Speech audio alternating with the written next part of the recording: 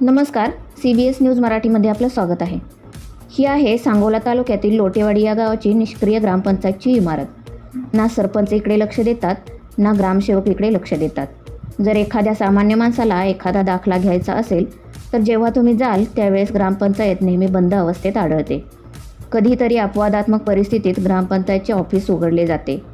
ग्रामपंचायतवर साधा बोर्डसुद्धा नाही. यावरून ग्रामसेवक सरपंच आणि त्या ग्रामपंचायतमधील सदस्य यांना ग्रामपंचायतबद्दल किती आस्था आहे हे दिसून येईल. फक्त निवडणुकीपुरते गावात येणारे हंगामी लोकप्रतिनिधी बेशिस्त कार्यकर्ते आणि उदास जनता यामुळे लोटेवाडी गाव विकासापासून वंचित आहे. फक्त भ्रष्टाचार करून पैसे मिळवण्याचे साधन म्हणून गावातील हंगामी लोकप्रतिनिधी ग्रामपंचायतकडे पाहत आहेत. गावाच्या विकासाचा केंद्रबिंदू जर असा दुर्लक्षित राहिला तर गावाचा विकास कसा होणार? गावातील सुज्ञ नागरिकांनी यावर विचार करावा आणि काहीतरी गावामध्ये नाविन्यपूर्ण करावे एवढीच माफक अपेक्षा सर्वसामान्य जनतेचे असेल असे मला वाटते. धन्यवाद.